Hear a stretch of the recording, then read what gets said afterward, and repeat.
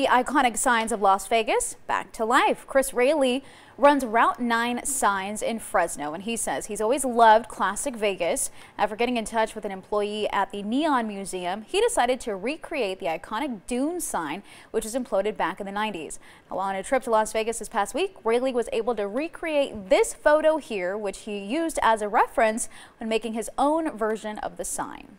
Like we took the, the Dunes sign to the original spot and it lined up perfectly. You know, that, that really, uh, that's like the, the pinnacle of what I do is it's really meaningful if the sign no longer exists to, to bring it back and, and kind of put it, put things right for a little while.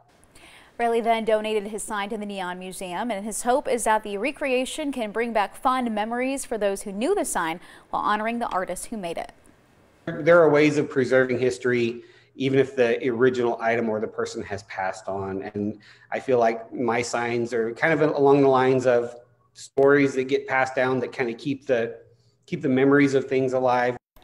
Raley has also made replicas of the Welcome to Fabulous Las Vegas sign, the Stardust, and also the Sands. Well, good morning.